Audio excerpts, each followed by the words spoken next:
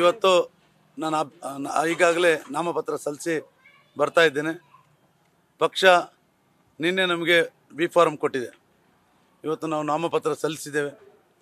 ಪಕ್ಷದ ಒಲವು, ನಮ್ಮ ನಾಯಕರಾದ ಸನ್ಮಾನ್ಯ ವಿ ಸೋಮಣ್ಣನವರ ಆಶೀರ್ವಾದದೊಂದಿಗೆ ಇವತ್ತು ಸನ್ಮಾನ್ಯ ತೇಜಸ್ವಿ ಸೂರ್ಯ ಅವರು, ಡಾಕ್ಟರ್ ಅರುಣ್ ಸೋಮಣ್ಣ ಅವರು ನೇಲಾ ನರೇಂದ್ರ ಬಾಬುರವರು, ಆಮೇಲೆ ರಾಷ್ಟ್ರೀಯ ನಾಯಕರಾದ ಮಹಾರಾಷ್ಟ್ರದ ಅಧ್ಯಕ್ಷರು ಎಲ್ಲ ಬಂದು ಇವತ್ತು ಚಾಲನೆ ಕೊಟ್ಟು ಕಾರ್ಯಕ್ರಮವನ್ನು ಈಗ ಮುಕ್ತಾಯ ಮಾಡಿ ಹೊರಟಿದ್ದಾರೆ.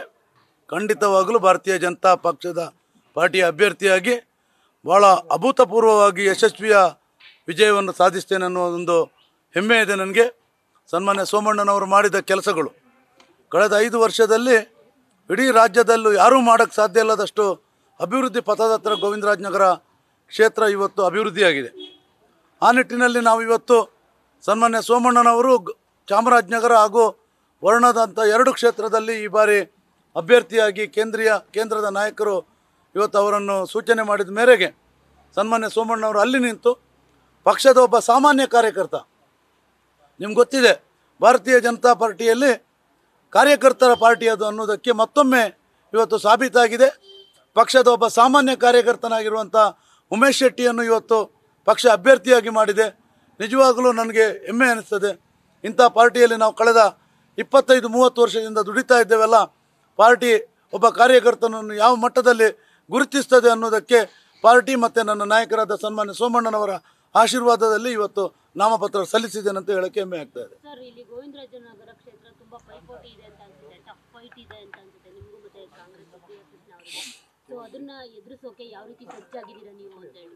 ನೋಡಿ ಗೋವಿಂದರಾಜನಗರ ಕ್ಷೇತ್ರ ಸೋಮಣ್ಣನವರ ಅಭಿವೃದ್ಧಿಯ ಪರ್ವ, ಕಾಂಗ್ರೆಸ್ನವರ ಮನಿ ಪವರ್. ಅಷ್ಟೇ, ಕಾಂಗ್ರೆಸ್ನ ಶಾಸಕರು ಕಳೆದ ಒಂಬತ್ತೂವರೆ ವರ್ಷ ಇಲ್ಲಿ ಶಾಸಕರಾಗಿದ್ದರು ಆ ಒಂಬತ್ತೂವರೆ ವರ್ಷದಲ್ಲಿ ಅವರು ಯಾವ ರೀತಿಯಲ್ಲಿ ಅಭಿವೃದ್ಧಿ ಮಾಡಿದ್ದಾರೆ, ಏನು ಮಾಡಿದ್ದಾರೆ, ಎಷ್ಟು ಮಟ್ಟಿಗೆ ಅಭಿವೃದ್ಧಿ ಮಾಡಿದ್ದಾರೆ ಅಂತ ಸಾರ್ವಜನಿಕರಿಗೆ ಗೊತ್ತಿದೆ. ಆದರೆ ಕೇವಲ ಒಂದು ಐದು ವರ್ಷದಲ್ಲಿ ಸನ್ಮಾನ್ಯ ಸೋಮಣ್ಣನವರು ಇತಿಹಾಸದಲ್ಲಿ ಉಳಿಯುವಂಥ ಕೆಲಸ. ಪರಮ ಪೂಜ್ಯ ಬಾಲಗಂಗಾಧರ ಸ್ವಾಮೀಜಿ ಹೆಸರಲ್ಲಿ ಆಸ್ಪತ್ರೆ. ಮುನ್ನೂರ ಹತ್ತು ಬೆಡ್ ಹಿಡಿದು ಡಾಕ್ಟರ್ ಪುನೀತ್ ರಾಜ್ಕುಮಾರ್ ಅವರ ಹೆಸರಲ್ಲಿ ಇನ್ನೂರ ಹತ್ತು ಬೆಡ್ ಆಸ್ಪತ್ರೆ. ಸಂಗೊಳ್ಳಿ ರಾಯಣ್ಣ ಅವರ ಹೆಸರಲ್ಲಿ ಡಯಾಲಿಸಿಸ್ ಕೇಂದ್ರ. ಗೋವಿಂದರಾಜನಗರ ರೆಫರಲ್ ಆಸ್ಪತ್ರೆ. ಹೈ ಟೆನ್ಷನ್ ರಿಮು. ಸುಮಾರು ಎಂಬತ್ತಕ್ಕೂ ಹೆಚ್ಚು ಉದ್ಯಾನವನಗಳು. ಸುಮಾರು ಎಪ್ಪತ್ತಕ್ಕೂ ಹೆಚ್ಚು ದೇವಸ್ಥಾನಗಳು. ಮಲ್ಟಿ ಸೂಪರ್ ಸ್ಪೆಷಾಲಿಟಿ ಆಸ್ಪತ್ರೆಗಳು. ಪ್ರತಿಯೊಂದು ವಾರ್ಡ್ ವಾರ್ಡ್ಗಳಲ್ಲಿ ಸಾರ್ವಜನಿಕರಿಗೆ ರೀಚ್ ಬೇಕಾಗುವಂಥ ಶಟ್ಲ್ ಕೋರ್ಟ್ ಇರ್ಬೋದು, ಜಿಮ್ ಇರ್ಬೋದು ಟೆನ್ನಿಸ್ ಇರ್ಬೋದು ಚೆಸ್ ಇರ್ಬೋದು ಎಲ್ಲ ರೀತಿಯ ಅಭಿವೃದ್ಧಿ. ಕೊನೆಗೆ ನಾವು ಹೇಳ್ಬೇಕಾದ್ರೆ ಆಡು ಮುಟ್ಟದ ಸೊಪ್ಪಿಲ್ಲ ಸೋಮಣ್ಣವ್ರು ಮಾಡದ ಕೆಲಸ ಇಲ್ಲ ಅಂತ ನಾವು ಹೇಳ್ಬೋದು. ಇದು ಇದು ಅಭಿವೃದ್ಧಿ. ನೋಡಿ ಸೋಮಣ್ಣವರ ಆಶೀರ್ವಾದ ಪಕ್ಷದ ಶ್ರೀರಕ್ಷೆ ಎರಡೂ ನನ್ನ ಮೇಲೆ ಇದೆ. ಅವರೇ ನನಗೆ ಇವತ್ತು ಅವರ ಮಗನೇ ಇಲ್ಲೋರೆಗೂ ಬಂದು ಸನ್ಮಾನ್ಯ ತೇಜಸ್ವಿ ಸೂರ್ಯ ಅವರೇ ಬಂದು ಇಲ್ಲಿ ಒಳಗಡೆ ಹೋಗ ಕೇವಲ ಐದು ಜನರಿಗೆ ಮಾತ್ರ ಇಲ್ಲಿ ಅವಕಾಶ ಇರೋದ್ರಿಂದಾಗಿ ಡಾಕ್ಟರ್ ಸೋಮಣ್ಣ ಸೋಮಣ್ಣವರ ಪುತ್ರ ಅರುಣ್ ಸೋಮಣ್ಣ ಅವರು ಡ- ನಮ್ಮ ತೇಜಸ್ವಿ ಸೂರ್ಯ ಅವರು, ಲೋಕಸಭಾ ಸದಸ್ಯರು ಈಗ ಹೊರಟಿದ್ದಾರೆ.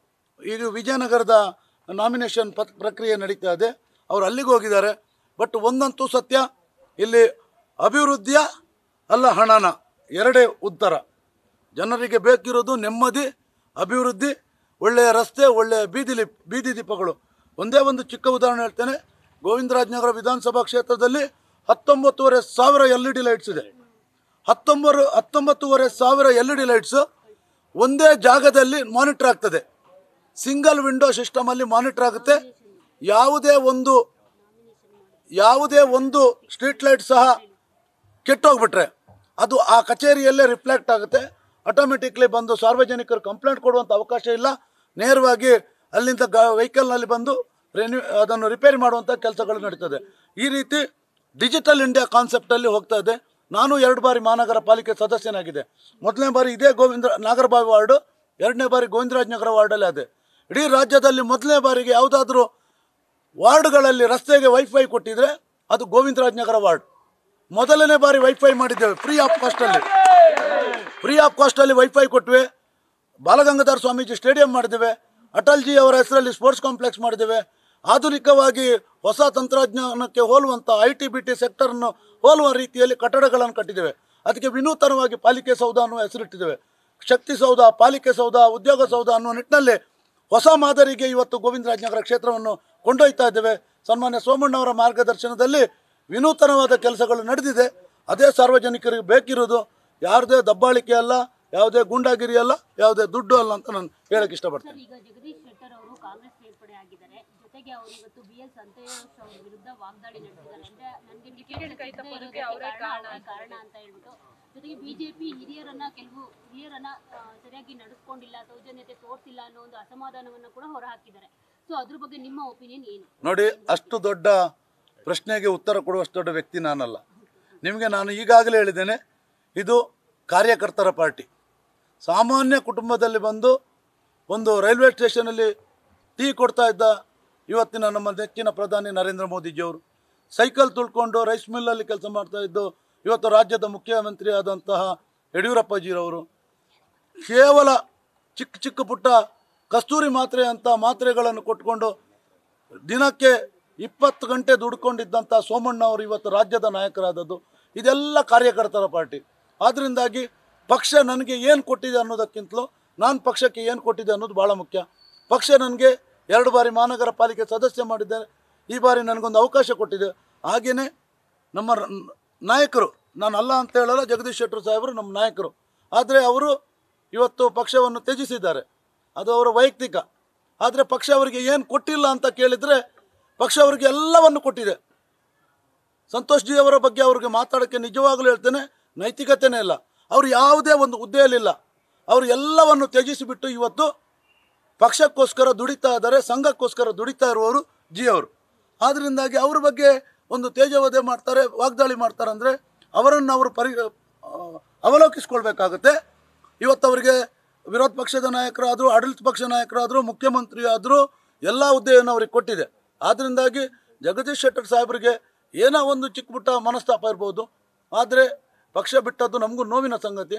ಇನ್ನೊಬ್ಬರ ಬಗ್ಗೆ ತೇಜೋವಧೆ ಮಾಡುವುದು ವಾಗ್ದಾಳಿ ಮಾಡುವುದು ತಪ್ಪು ಅಂತ ನಾನು ಈ ಮೂಲಕ ಖಂಡಿಸ್ತಾ ಇದ್ದೇನೆ. ಸರ್ ಉಮೇಶ್ ಶೆಟ್ಟಿ ಅವರಿಂದ ಜನ ಏನನ್ನ ನಿರೀಕ್ಷಿಸಬಹುದು ಅಂತ ಹೇಳಿ. ಉಮೇಶ್ ಶೆಟ್ಟಿಯಿಂದ ಜನ ನಿರೀಕ್ಷಿಸುವುದು ಅಭಿವೃದ್ಧಿ ಮಾತ್ರ. ಉಮೇಶ್ ಶೆಟ್ಟಿ ಅಭಿವೃದ್ಧಿ ಅಭಿವೃದ್ಧಿಯ ಪರ ಕೆಲಸ ಮಾಡಿದ್ದಾನೆ. ಹತ್ತು ವರ್ಷ ಪಾಲಿಕೆ ಸದಸ್ಯನಾಗಿ ಬೆಂಗಳೂರು ಮಹಾನಗರದಲ್ಲಿ ಬೆಂಗಳೂರು ಮಹಾನಗರ ಪಾಲಿಕೆಯಲ್ಲಿ ಒಬ್ಬ ಅತ್ಯುತ್ತಮ ಮಹಾನಗರ ಪಾಲಿಕೆ ಸದಸ್ಯ ಅನ್ನೋದನ್ನು ಪ್ರೂಫ್ ಮಾಡಿಕೊಟ್ಟಿದ್ದೇನೆ. ನಾನು ಪ್ರೂವ್ ಮಾಡಿದ್ದೇನೆ. ಅದಕ್ಕೆ ಉದಾಹರಣೆ ಇದೇ ನಾಗರಬಾವಿ ವಾರ್ಡು ಈಗಿರುವಂಥ ಗೋವಿಂದರಾಜನಗರ ವಾರ್ಡು. ಎರಡೂ ವಾರ್ಡನ್ನು ಮಾದರಿಯ ವಾರ್ಡನ್ನಾಗಿ ಮಾಡಿ ಇವತ್ತು ಸಾರ್ವಜನಿಕರು ನೆಮ್ಮದಿಯ ಜೀವನಕ್ಕೆ ಒಂದು ಕಾರಣೀಭೂತರಾಗಿದ್ದಾರೆ.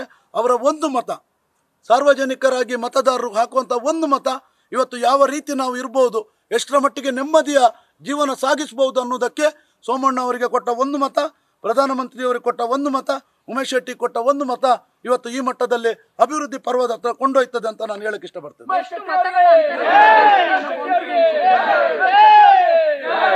ನೋಡಿ, ಸೋಮಣ್ಣ ಅವರು ಕಳೆದ ಚುನಾವಣೆಯಲ್ಲಿ ಹನ್ನೆರಡು ಸಾವಿರಕ್ಕೂ ಹೆಚ್ಚು ಮತಗಳಿಂದ ಗೆದ್ದಿದ್ದಾರೆ. ಆವತ್ತು ಒಂಬತ್ತೂವರೆ ವರ್ಷ ನಮ್ಮ ಆಡಳಿತ ಇರಲಿಲ್ಲ. ಕಾಂಗ್ರೆಸ್ನ ನಾಯಕ ಶಾಸಕರಿದ್ದರು ಇವತ್ತು ನಮ್ಮ ಸರ್ಕಾರ ಸೋಮಣ್ಣ ಅವರು ಮಾಡಿದಂಥ ಅದ್ವಿತೀಯ ಕಾಮಗಾರಿಗಳು. ಯಾರು ಊಹೆಗೂ ನಿಲುಕದ ಕಾಮಗಾರಿಗಳನ್ನು ಮಾಡಿದ್ದಾರೆ. ಇಪ್ಪತ್ತೈದು ಸಾವಿರಕ್ಕೂ ಹೆಚ್ಚಿನ ಮತಗಳಲ್ಲಿ ನಾವು ಗೆಲ್ತೇವೆ ಅಂತ ನಮಗೆ ಭರವಸೆ ಇದೆ. ಜನ ನನ್ನ ಮತದಾರರು ನಮ್ಮನ್ನು ಕೈ ಹಿಡಿತಾರೆ. ಸೋಮಣ್ಣ ಅವರ ಆಶೀರ್ವ ಕೆಲಸಗಳು ಅವರ ಅವರಿಗೆ ತಲುಪಿದೆ ಅಂತ ನಾನು ಈ ಮೂಲಕ ಕೇಳ ಹೇಳಕ್ಕೆ ನಿಮ್ಮ ಇಷ್ಟಪಡ್ತೇನೆ. ಪ್ರತಿಸ್ಪರ್ಧಿಯ ಬಗ್ಗೆ ಮಾತನಾಡೋದಾದ್ರೆ? ನನಗೆ ಅವಶ್ಯಕತೆ ಇಲ್ಲದ ಮಾತು. ನಾನು ಇನ್ನೊಬ್ಬರ ಬಗ್ಗೆ ಮಾತಾಡಕ್ಕೆ ಸಾಧ್ಯ ಇಲ್ಲ. ನನ್ನ ಪಕ್ಷ ನನ್ನ ನಾಯಕರು ನಾನು ಅಷ್ಟೇ ಮಾತಾಡಕ್ಕೆ ಇಷ್ಟಪಡ್ತಾ ಇದ್ದೀನಿ. ಪ್ರಚಾರಕ್ಕೆ ಪ್ರಚಾರಕ್ಕೆ ರಾಷ್ಟ್ರೀಯ ನಾಯಕರು ಬರ್ತಾರೆ. ಈಗಷ್ಟೇ ತೇಜಸ್ವಿ ಸೂರ್ಯಜಿ ಹೇಳಿದರು. ರಾಷ್ಟ್ರೀಯ ನಾಯಕರಾದ ನಮ್ಮ ಅಮಿತ್ ಶಾಜಿ ಬರ್ತಾರೆ ಅಂತ ಹೇಳಿದ್ದಾರೆ. ಯೋಗಿ ಆದಿತ್ಯನಾಥ್ರವರು ಬರುವವರಿದ್ದಾರೆ. ದೊಡ್ಡ ದೊಡ್ಡ ನಾಯಕರು ಬರ್ತಾರೆ. ಈಗಾಗಲೇ ನಮಗೆ ಒಬ್ಬರು ನ್ಯಾಷನಲ್ ಲೀಡರ್ನ ಹಾಕಿದ್ದಾರೆ. ಉಸ್ತುವಾರಿಯಾಗಿ ರಾಷ್ಟ್ರೀಯ ನಮ್ಮ ಮಹಾರಾಷ್ಟ್ರದ ಅಧ್ಯಕ್ಷರಾಗಿರುವಂಥ ಒಬ್ಬರು ನಾಯಕರನ್ನು ಹಾಕಿದ್ದಾರೆ. ಈಗ ತಾನೇ ಅವ್ರು ಬಂದು ನನ್ನನ್ನು ಭೇಟಿ ಮಾಡ್ಕೊಂಡು ಹಾಗಾಗಿ ಪಕ್ಷ, ಪಾರ್ಟಿ ಚುನಾವಣೆ ಮಾಡ್ತಾ ಇದೆ. ನಾನೊಬ್ಬ ಅಭ್ಯರ್ಥಿ ಮಾತ್ರ, ಕೇವಲ ನಾನೊಬ್ಬ ಅಭ್ಯರ್ಥಿ. ಪಕ್ಷ ಮತ್ತು ನನ್ನ ನಾಯಕರಾದ ಸೋಮಣ್ಣವರು ನನ್ನನ್ನು ಅಭ್ಯರ್ಥಿಯಾಗಿ ಘೋಷಣೆ ಮಾಡಿ ನಿಂತಿದ್ದ ನಿಲ್ಲಿಸಿದ್ದಾರೆ ನಾನು ಮನೆ ಮನೆಗಳಿದು ಮತ ಕೇಳಕ್ಕೆ ಹೋಗ್ತೇನೆ.